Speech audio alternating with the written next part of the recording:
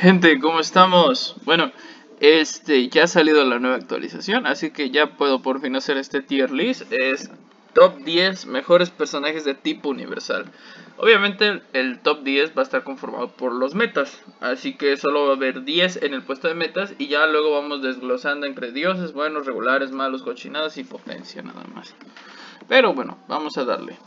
Empecemos bien. Ghost Panther es una potencia excelente para Mephisto y para Ghost Rider. Dormammu es un personaje que es muy bueno para la conquista. Es básicamente Thanos, pero el doble de mejor. Tiene un liderazgo maravilloso que por desgracia no se aprovecha mucho. Icaris. Mm, Icaris es un personaje muy muy bueno en duelo dimensional y ni te digo en conquista creo que es muchísimo mejor. El problema con el mismo es que tampoco es la gran cosa y no le dieron un bufo como si le dieron a Tina. Así que se queda bastante cortito. Lo vamos a poner en metas hasta el último. Hasta el último posiblemente quede y posiblemente baje a dioses. Ya vamos a ir viendo cómo se acomoda esto. Tiene un liderazgo maravilloso, aguanta muchísimo, se cura como no tienes idea. Personaje muy bueno. Uf, pero el que sí tiene que ser en primer lugar es, es Doom. Doom es un personaje que todavía es el meta en duelo dimensional. Se emparejó bastante con Gilgamesh. Pero Doom sigue siendo el mejor. Personaje muy muy bueno. Que este también es meta en batalla de escuadrones con CTP de ira. Y en las fases de Null hace demasiado, pero demasiado daño. Es un one shot del personaje con CTP de ira. Una maravilla de personaje. Beta Ray Bill lo voy a poner en los dioses al último. No, en buenos. Este meta ya ha cambiado muchísimo. Antes esto hubiera estado hasta en el meta de personajes en general. Pero ya solo es un one shot en jefes leyenda. No es nada, pero así nada, nada bueno en temas de PvP. Para nada. Hace un daño brutal. Puede hacer 8 millones en la ABX. Muy, muy mamado. Pero utilidad como tal no tiene. Por el momento hasta que tenga uniforme. Uh, Bruja Escarlata es un meta. Maravilloso personaje, este liderazgo muy bueno, meta en ABX hasta que mañana por fin sabremos la verdad, ¿verdad Tina? Mañana por fin sabremos si ella seguirá siendo el meta o no, pero por el momento ella sigue siendo el meta y igual se quedaría en este puesto ya que el personaje hace bastante, bastante daño. Molecula Man lo voy a poner en dioses ya que el personaje es muy bueno en conquista, pero muy muy bueno, con un liderazgo excepcional y una pasiva increíble. Y solo es una potencia en duelo dimensional debido a que es muy papel ahí. Null o Null es un personaje muy bueno, pero que solo sirve para fases muy altas de él o de jefes, o de jefes mundiales. No hacen gran puntaje en ABX, y está bastante duro. O sea, es un personaje que es muy, muy, muy bueno. Está encima del promedio, pero tampoco es meta en nada como ya no es el meta de villano universal, pues se quedó hacia medias. Y es un personaje muy caro de subir, por el beneficio que te da, eh. Odin. Odin es mucho mejor que Null porque este mínimo tiene utilidad en lo que es este misión de envío. Es muy bueno con CTP de ira, con el equipo de White Fox y Valkyria, increíble personaje. Silver Surfer es un personaje que es muy bueno en... Ya no va a estar aquí, eh. Agárrense, agárrense, eh. Solamente es un reflejo, pero sigue estando en el meta de conquista debido al mismo. Personaje muy muy bueno. Medusa va a ir a regulares directamente ya que es un personaje que tiene un daño muy pobre, pero muy muy pobre en ABX aunque tuviera un CTP de ira. Es muy buena en null, de una fase 9 para abajo, de para arriba ya el personaje no te va a servir. Jefes, jefes mundiales se los funa de un golpe, pero pues ya en beta también lo hace y ya está más rápido. Ah, Jean Grey. ¿Dónde aventamos a Jean? Jean la voy a poner en buenos porque es un personaje que honestamente no sirve para mucho. Te la sigues topando en Vibranium si eres alguien muy muy bajo, pero ni siquiera entra... No la veo en ningún top de ninguna liga y no es broma. No la llego a ver ni siquiera en los tops de las ligas de oro. El personaje ya pasó su tiempo, era el único que le quedaba codicia. Y yo creo que no tiene nada de malo reconocer que el personaje está muerto. Y me pueden decir, ah, pero se baja Gilgamesh, se baja Gilgamesh con la 5. Miren, yo me he bajado a Gilgamesh del top 1 de, de platino cuando salió. Me lo, ese mismo Gilgamesh que ronda por ahí ese video. Yo mismo me lo bajé con un Sentry que no tiene ni, el equipo en 15. O sea, Jean Grey está muertísima. Incluso esta que, que tiene una equipación mamadísima pues no, Jean Grey está muerta, o sea, tenemos que reconocer lo que Jean Grey está muerta en Conquista, está muerta en Duelo, está muerta en PvE, está muerta en todos los modos de juego. El personaje no se hace ni 3 millones en ABX, o sea, está muertísima. Muertísima lo que le sigue. Sentry sigue entrando en el meta, lo voy a poner encima de Icaris, aunque Icaris le puede ganar también, pero este como aguanta más golpes, el otro se cura, por lo cual si le metes un one shot a a Icaris, pues lo matas. Y si le metes un one shot a, a, a Sentry, pues no. Es muy difícil que lo mates. Y más si tiene un brillante de regeneración. Personaje muy, muy bueno. Qué mal que ya ha pasado tanto el tiempo que ya no es el meta absoluto del juego, como en su tiempo lo fue. Pero bueno. Torcito. Torcito está abajo de beta, ya que su daño... Uh, ¿Es mejor en null el que beta? Sí, pero Torcito ya, ya fue y le urge un reward. Y qué mal que no le dieron un reward porque pensamos que lo iban a bufear a él, pero no. Una lástima. Uh, Blue Marvel es un personaje excelente para duelo y excelente para conquista, pero es un personaje full PvP. Desde ahorita te digo que es un personaje full, full PvP. Para PvP no sirve. Es un reflejo, este es el one shot de los one shot. Me mató a mi Sentry de un golpe. He visto que mata Sentries y Dooms mamadísimos. De verdad, ¿eh? Uh, Hyperion. Hyperion es un personaje excelente. Un dios en conquista con regeneración. Un dios en, en duelo dimensional también. Su liderazgo está muy, muy fuerte en Null. Se baja una fase alta de Null hasta con obelisco y daño de fuego. Eh, con CTP de ira y cancelando las tres temporadas lo he visto hacer hasta 9 millones, pero pues ya casi cualquiera del Universal héroe hace ese puntaje. Una maravilla de personaje, pero que es un híbrido que se va a quedar en el olvido por no ser meta. Pero para mi gusto es mejor que estos. A lo mejor no mejor que Blue Marvel porque este por el, eje, por el efecto de burla lo supera en conquista. Pero en duelo se van dando bastante bien.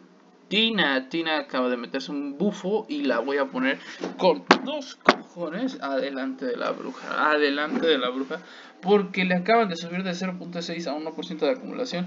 Dios santo, este personaje está rotísimo, rotísimo. Nada más han hecho las pruebas en null. Se baja fases altas en un minuto y en ABX ya huela que va a ser meta. Cancela tres temporadas, mete sangrado hasta por la cola un personaje muy muy bueno, pero que solo funciona con ira. Así que puede que sea como Macari en ese sentido. Pero bueno, personaje excelente, la verdad excelente. La voy a poner encima de la bruja con dos cojones porque yo sé que mañana la bruja muere en ABX. Mañana la bruja muere en ABX. Uh, este es un personajazo. Lo voy a poner en dioses porque sería mucho ponerlo en metas. Ya que el personaje es una potencia, hace un puntaje excelente en ABX, excelente. Pero pues es, mejor super gigante en todo sentido. Pero ella solo es una potencia y es muy buena en jefes leyenda. Pero pues super gigante es mejor. Y por ese simple hecho de que Supergiganta y ella son lo mismo, pero Supergiganta la supera por demasiado, pues la vamos a dejar ahí. Pero sigue siendo un personaje muy bueno que sirve más como una potencia. La singularidad es mala. Eh, es mala. Este es mala. Este todavía se salva por el liderazgo. El Centinela lo voy a poner en regulares, ya que era un personaje para conquista. Uf, Quasar es buenísima. Personaje muy roto en jefes leyenda, de verdad, con CTP de energía.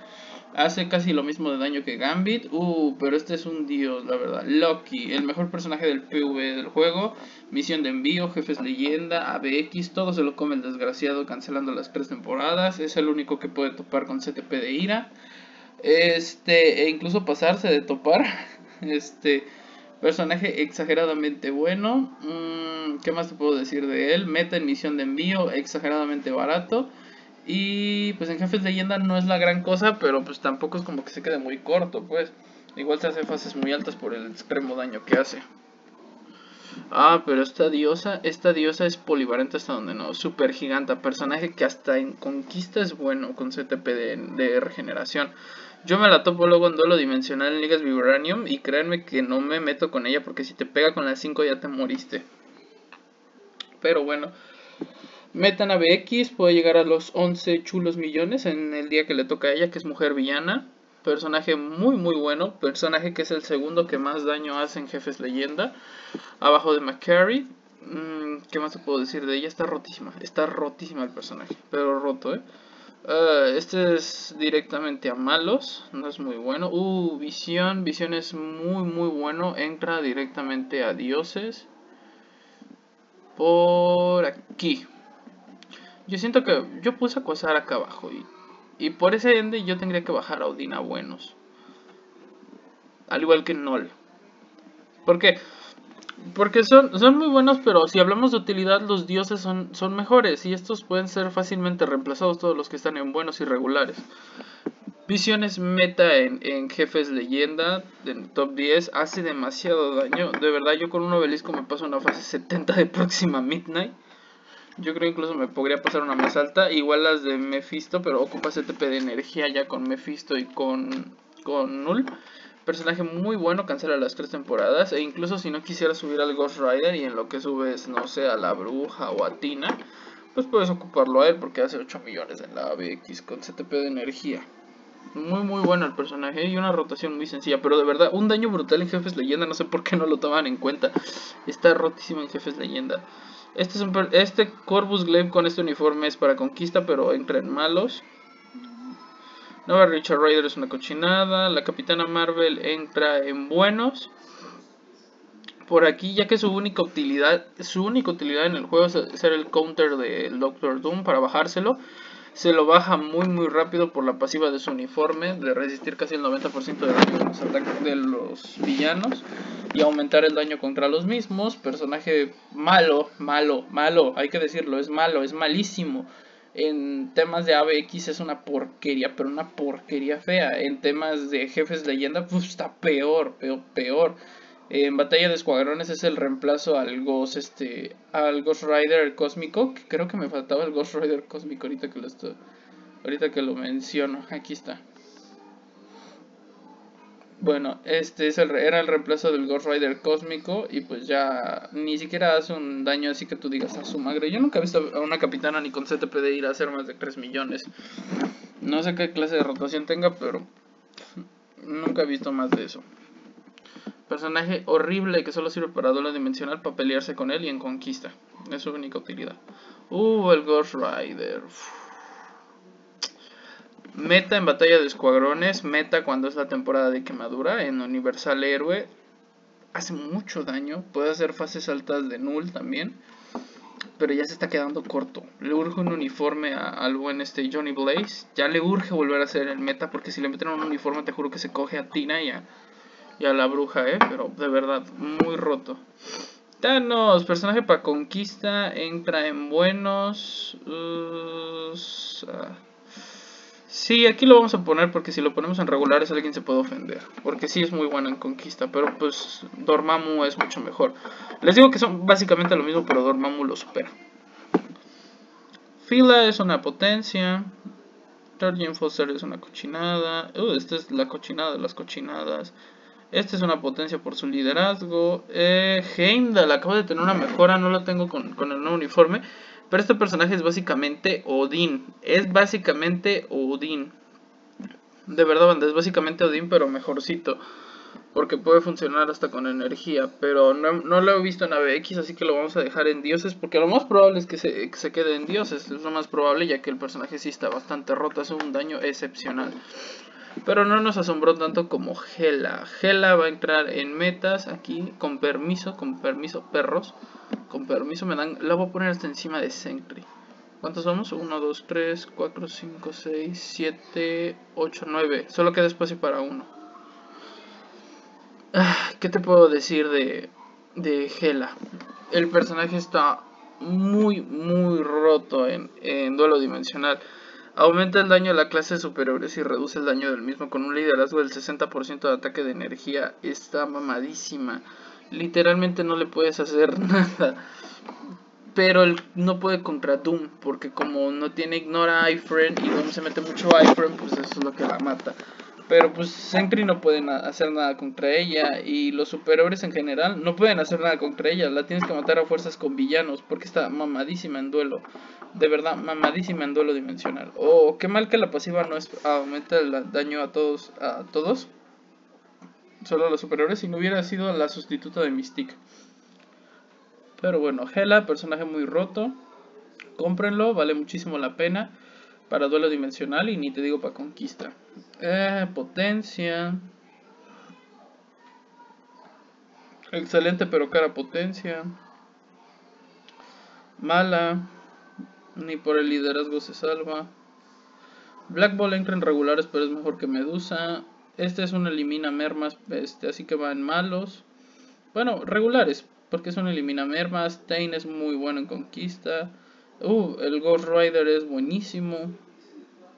Pero ya fue su tiempo. Creo que son todos. Sí, serían todos. Ok, entonces, ¿cómo quedaría el top? El primero sería Loki sin lugar a dudas. El segundo sería Doom, Super Giganta y Tina. Personajes muy rotos que hacen muchísimo daño, igual que la bruja. Este, luego sería Hela, luego sería el Sentry, el Ghost Rider e Icaris. 1, 2, 3, 4, 5, 6, 7, 8, 9, pues 10. Ya con esta 10. Personajes muy, pero muy buenos de verdad, ¿eh? Icaris yo creo lo pondría aquí, porque por utilidad iría aquí, pero sigue estando como el último, como el último, como la, la picha de la picha, tío. Ahí se va a quedar Icaris. Incluso debería poner a Blue Marvel en vez de Icaris, pero uh, no sé. Yo digo que sí, ¿no? Porque por utilidad ahí, ahí se quedaría el personaje. Pues bueno, este sería mi top 10. Número 1 Loki. Número 2 Doom, meta en PvE y PvP. Número 3 Super Giganta, excelentísimo personaje. Número 4 Tina, va a volverse el meta, agárrense. Número 5, la bruja escarlata. Personaje que ya lo van a sacar del meta. Y si lo sacan del meta, miren, hasta aquí va a bajar, ¿eh? Hasta aquí. Incluso a 3 de visión porque visión la mata en jefes. Hela, número 6. Este, el Sentry es el número 7, va bajando cada, cada, cada actualización que pasa. Número 8, desgraciadamente el Ghost Rider ya no está en primer lugar. Número 9, Próxima Midnight por ser una excelente potencia. Y número 10, Blue Marvel por ser un personaje muy muy bueno en cuanto a este duelo dimensional y conquista. Pero solo en eso. Temas de PvE ni lo voltees a ver. Pero bueno, eso sería todo por hoy gente. Espero les haya gustado. Este, fue bastante sencillo hacer esto. Va a ser complicado con los de la clase combate. ¿eh? Y ni les cuento los de la detonación. Pero bueno, nos vemos en la próxima.